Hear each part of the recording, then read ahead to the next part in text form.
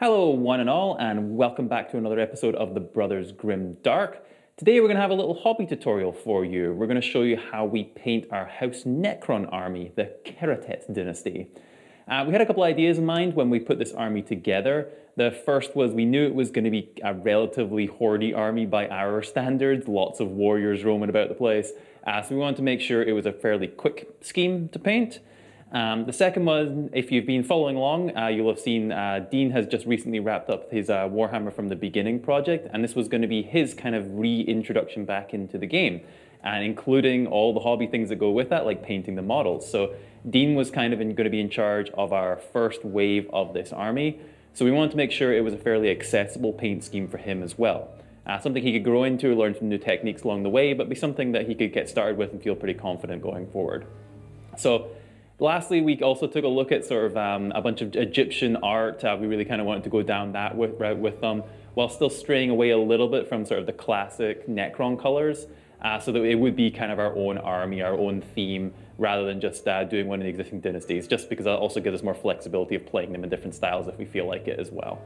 So anyway, I hope this is a useful tutorial for you. It's got a bunch of kind of nice, interesting techniques in it, all very simple though, and a bunch of kind of emphasis on speed painting, um, and you know batch painting for large armies. Um, so we hope you enjoy it. Hope it looks good on the tabletop, and uh, we'll be over at the painting desk next. Okay, so what we're going to be painting today is this weird little fella. So he is the Psychomancer, I believe. I, yeah, I know Necron's sort of okay, but uh, yeah, he's a really cool model. As soon as I saw this one, he's been one I've been uh, wanting to paint for a, for a long time. So uh, cool to get to do this as part of our, our little uh, painting tutorial today. So this is a really simple scheme. We developed it so that we knew we were going to have like a, it was going to be a fairly hordy army, lots of robots uh, kind of crawling around out the sand. So uh, we wanted to come up with something that was fairly quick, but would still look really, really good on the tabletop. Um, so yeah, we're just going to get straight into it. So as you can see, he's already primed. Um, he's primed with Leadbelcher all over, nothing fancy, zenithal, anything like that. Just straight prime of zenithal. Sorry, straight prime of Leadbelcher. What am I talking about? Um, so the first thing we're going to do is the armor plates on him. Um, and that's going to, we, we had this idea where we wanted to come up with a sort of different way of doing gold armor. We almost wanted to look like more like metallic yellow rather than gold, if that makes sense. So to achieve that, we start with this Leadbelcher base, and what we're going to be doing is giving it a contrast wash of Iyanden yellow. So it's super simple. That's just going straight over to the armor plates. Um, one thing to note at this time, if you can, Try and avoid getting the yellow on any of the places that aren't those armor plates because we're going to leave those silver um, and do some, do some work on those later. If you do get some yellow on them, not to worry, we're going to touch that up afterwards, so it's not the end of the world, but just saves you a bit of time later. So yeah, we're just going to get started and start slopping some yellow on this guy.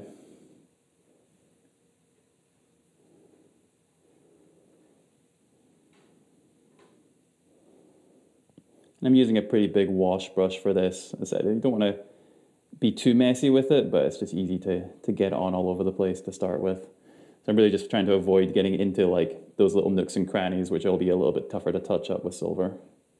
One thing that's nice about contrast paints is because they're quite runny if you do make a mistake, like I just did, it's quite easy to get it off quickly. Just clean your brush and wipe it off. Just checking to make sure I got everything on here. Didn't miss any bits. I think that's looking okay. So now you can see he's all, all, the, all the armor plates are done with yellow, but I've left everything else in that Leadbelcher color. Now, I think I actually did a relatively tidy job, I think, um, putting that on. Oh, I've missed a little bit. I'm going to fill that in first. I missed this little, little bit of armor plate in here, but in general, I think I've kept that fairly tidy. At this point, if you did make any mistakes, um, I would just go back and touch those up with Leadbelcher uh, because the next stage we're going to do is giving the, those silver areas a wash. So you kind of want to make sure that they're all nicely blocked in at this point. Next, we're going to move on to um, my favorite color to put over top of Leadbelcher is uh, the Basilicanum contrast. Uh, so just give this, always give your contrast a good shake. They get kind of murky at the bottom. This one you can really see it gets that white at the bottom of it if you're not mixed up properly. So just give it a shake until that's all until that's all nicely tidied up. So what we're going to be doing with this is anything which is silver. um, which is mostly going to be the armor plates, um, the, his coils, things like that. Uh, we're going to wash that all over with basilicanum. And I find that just gives it a nice kind of like dull metal um, finish. I prefer that to Nuln Oil personally, but that would work as well if you prefer that kind of look. Um, but yeah, it's just I find it gives it a nice finish over, over silver. A sort of gunmetal sort of look. So same idea here, we're just gonna go through all these different bits. So like all these cables here, all the cables inside, um, and these little bits here. Try not to get this on top of the yellow. Again, you can kind of tidy it up quickly if you do. But yeah, so we're just gonna get cracking with that now. And I know it's a contrast paint, but I really do use this one kind of like a wash, really sort of slosh it on there. It doesn't matter if you're gonna dull it too much because um, we're gonna end up highlighting everything afterwards with a, with a brighter silver, which will help pick out all the highlights and make those a bit more glossy and shiny again. So don't worry about kind of getting this all over everything. It's gonna be silver anyway. Just make sure it's getting in all those cracks. This boy really does have a lot of cables on him, doesn't he? Weird tentacle monster. This is a very cool sculpt, this one. I love these just floating on these cables and has this crazy psychic skull thing project, projecting at the end of it. Just what a bizarre concept. I love these. They're a size 3 brush. I use them for just about everything. It's got a really good point on it, so you can use it for detail work, but also still great for sloshing washes on things. It's probably my most used brush by a long margin now. And this is the thing with Necrons. They're all sort of carapaces on top of inner weird workings and stuff. So just be a little bit careful and poke your brush into these cracks and try not to cover up the yellow you did earlier, but you can usually get in okay to give a decent wash on the these inner bits of silver that we left from earlier.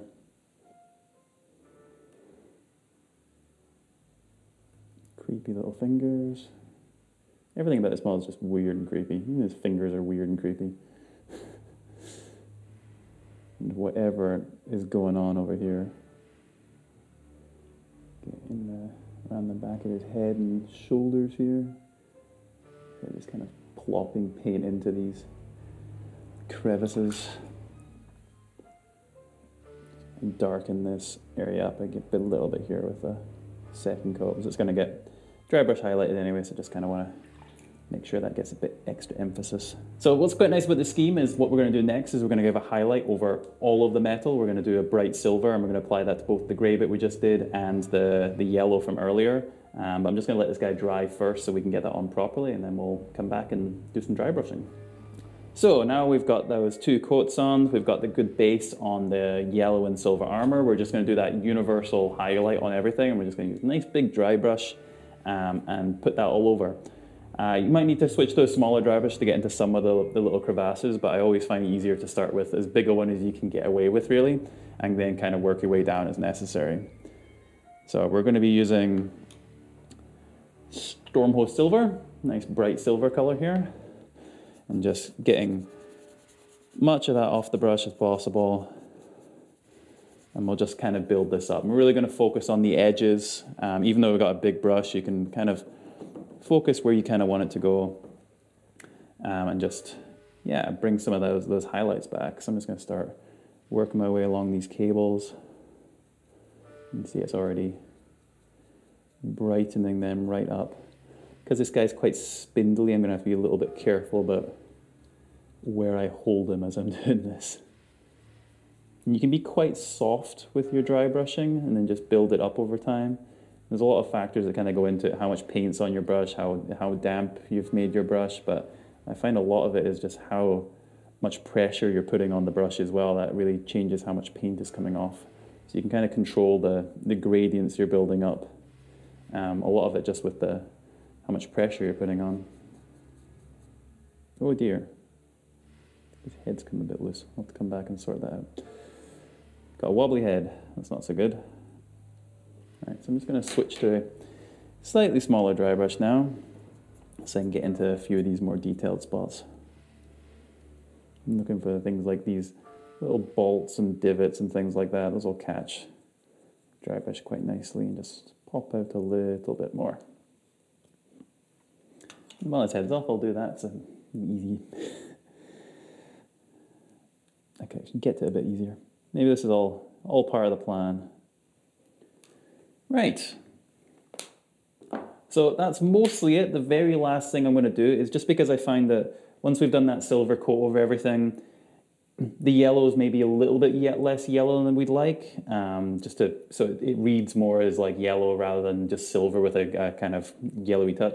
So what I like to do is use um, Casandora yellow, and we're just going to do a really light glaze in like the shadowy type of areas. So um, like on the base back panels are actually a really good example here. So in this sort of ridge that goes along here, I'm going to glaze a little bit in there, in the kind of creases and things. One, it'll just give it a little bit more depth and it will add a little bit more of that sort of yellowy orange kind of tint to things, uh, which I think just helps the color stand out a little bit more. I'm gonna go back to my lovely size 3 brush and we're just gonna glaze some Casandora into these areas. So as I was saying, like right along here, this looks like a good spot to me. It just pops the color a little bit and aim for these weird lines and recesses and things. You can start to drop the paint in there a little bit too. Don't know what this is, weird headdress thing. I really like look of it. Yeah, just gonna put a little bit more of in that crack area there as well. Again, just it'll make the shape seem even more sort of three-dimensional and give us a little bit more of that extra yellow orangey tone. So I do find all of the contrast paints are quite different. Some of them are very saturated and some of them are, much more um, uh, translucent. And the Iyanden yellow one, I really like it for tinting things. I think it's got a nice finish, but um, yeah, it's not the strongest. So I do think going over with Casandora later as a second kind of coat to add a bit more shade is does help boost the color a little bit. So it can just be a bit bit peely weely without without that. All right. So that is really it in terms of like the armor. That's the the silver and yellow and done now, which is the majority of the model. It's a very simple, very quick, um, very easy to do a whole bunch of these in, at once, which is what we want because this is essentially a horde army. We've got you know 40 warriors over there, tons of immortals and destroyers and things. So you really want a scheme that looks good, but um, you know you can paint it really, really quickly. So next I'm going to go on to a few of the details. Uh, one thing we kind of, when we were looking at we were looking at a lot of sort of Egyptian um, artwork and things as part of the inspiration for the color scheme. So along with the yellow, uh, one of the colors that we saw associated with sort of royalty and gemstones and things was purple. Uh, so we've been using that as one of our spot colors. So I'm going to use that on a few of kind of the details on his head um, and on his staff. Um, just as kind of like those symbols of royalty. On the warriors, we use on their chess piece, uh, which kind of marks their, their dynasty. So to do this, the first coat is going to be Naggaroth Night, really nice dark purple color. So I'm just gonna get a little bit of that on my wet palette and start putting that on. So yeah, like on the chest piece in here, that's gonna be purple. Same thing for this bit on the staff here, when they've got these kind of icons on them. So that part as well. And then his beard, what's that called? There must be an Egyptian term for their fake beardy things. But yes, whatever that's called, it's going to be going to be purple too. And purple is also obviously a strong complement color to yellow, so it really stands out quite nicely, even though you don't need too much of it. So you want to you don't want to put tons and tons of purple markings on there, which is kind of why we reserved it for more of the the royalty and um, these sort of royal symbols and things. It's also nice as a complement because this is not going to be a, a metallic so as opposed to the yellow and the silver, obviously, which are, you know, the, the main body of the arm, we want that to look a bit more utilitarian. Um, and those, those kind of metallic tones, these are almost more like sort of precious stones, I imagine. So we're going for more of that kind of look, a bit more matte um, than the, again, just to make it, give a little bit of a different tone than, than what we've got going on with the rest of the metallic model, because most of it is metals.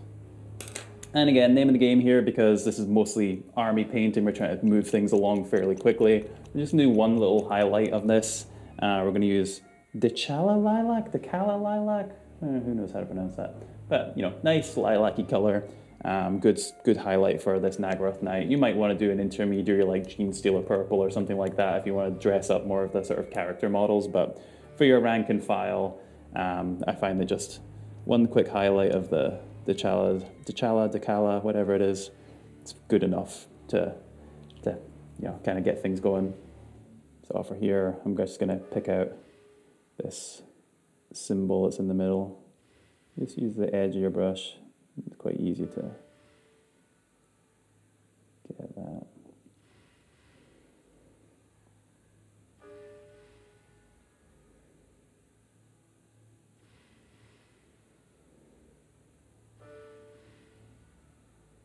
Same thing for the staff here. Just use edge of your brush to pick out that symbol. Trying to haze me your head resting. I brush while I'm doing this. Okay, so one side done. And his beard.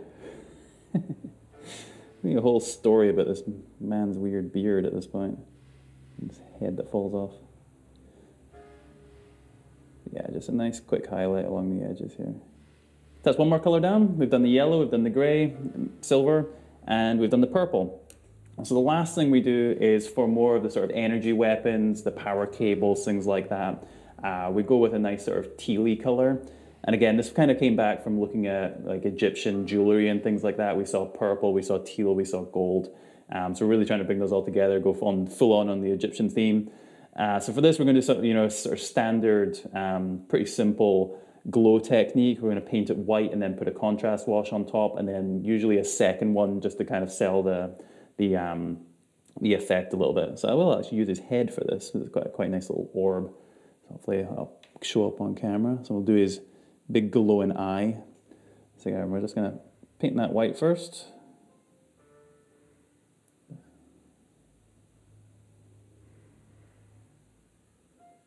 You can use whatever white you want for this, obviously, whatever you got in your paint box. I really like the, um, what is it, the Pro Acryl uh, Bold Titanium White. I think it's about the only non-Citadel paint I use, uh, just because I think it's so much better. Uh, it's got really good coverage, uh, flows really well, and it's just a really nice solid white. But for this, just whatever, whatever you got handy, really. Just give it a second coat. Get a nice solid coverage in there. Okay, we'll leave that for a minute. God, really is fit little head. Now I'm just going to look for a, few other ones. I'll pick those out now. A few these orby things on the side, we'll do those. Oh, and these. Remember, I was to do these as well. Don't know what they are. Weird powery things on his arm. I'll come back and do the rest of them later, but just to give you the idea for now. Right, and for this sort of tealy glow color, again to kind of complement the yellow and the purple, uh, I'm using Ethermatic Blue. Really nice contrast color. This is again one of the ones that I find is quite desaturated, quite uh, translucent, um, which makes it work quite well for glow effects and things like that. And using it almost like a wash in some cases. Uh, so I'm just gonna give this a good shake. And what we're gonna do is we're gonna give it one coat kind of all over that uh, white area we did and then around the edge as well to kind of get that glow. And then once that dry, I find it's, you often kind of need to do one more coat just kind of in the recess, uh, just to saturate the color a little bit more because it is quite, quite translucent. And as you're putting it on, because we want the center of the eye to be the, the brightest part or the source of the glow, um, you can just kind of keep moving the paint away from that so that it stays mostly white. So we've got more of the green in the recesses and kind of around where that glow will be. But yeah, we want to keep the actual center of the eye itself.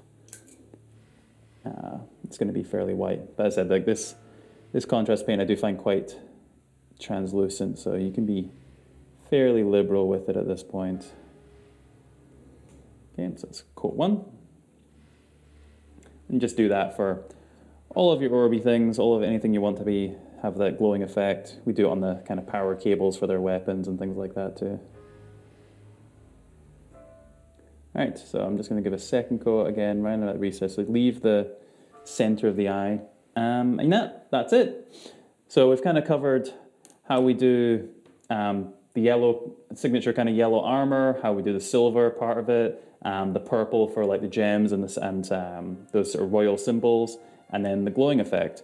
And that's really it for the Necrons. That's um, it's a very simple scheme. Um, it's, it's, as I said, something you can get through fairly quickly, um, but we think it looks really good on the tabletop. It's got a quite nice, unique look to it. Um, so I'm going to go ahead and uh, finish this guy off now and put his head back on. Um, and uh, yeah, we'll show you some pictures of what he looks like at the end. But um, yeah, if you've got any questions about how about how this goes or any other tics or techniques we should be taking a look at, please let us know. And yeah, we'll see you again in another episode.